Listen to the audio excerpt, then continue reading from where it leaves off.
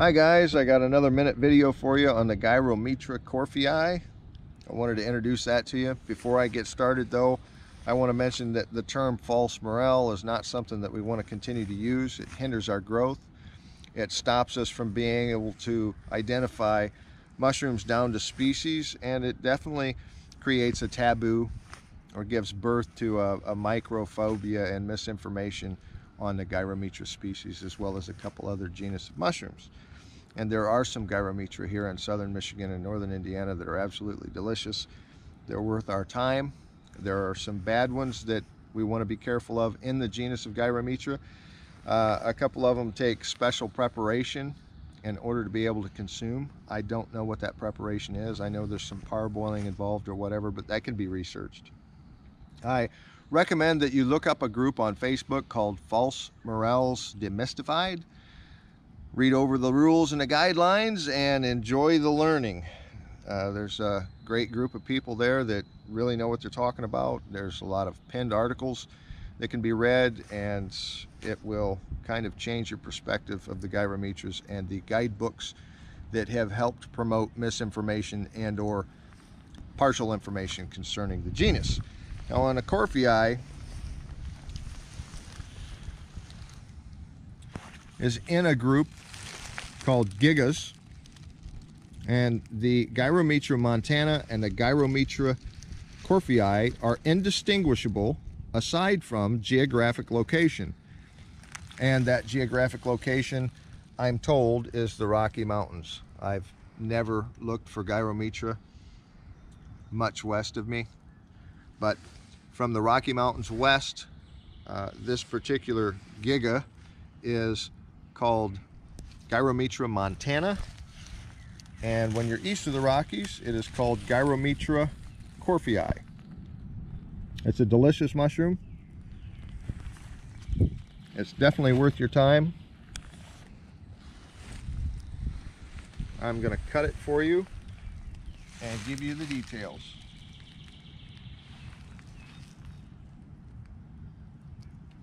Dawn got distracted by the trillium, I see. Did she put her hand in poison ivy when she was doing that?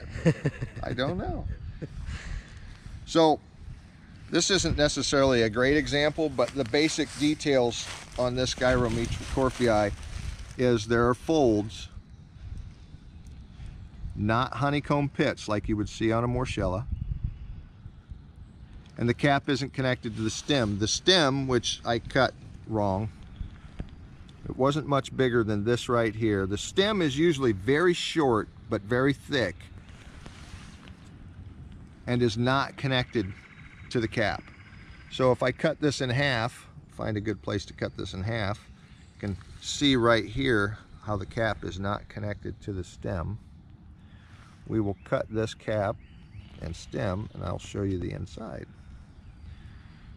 You can see the stem right here. and you can see how the cap folds around itself and is not attached to the stem. These are folds, not honeycomb pits. So the distinguishing features are short, wide, and typically white stalk, but this isn't always the case, and a folded cap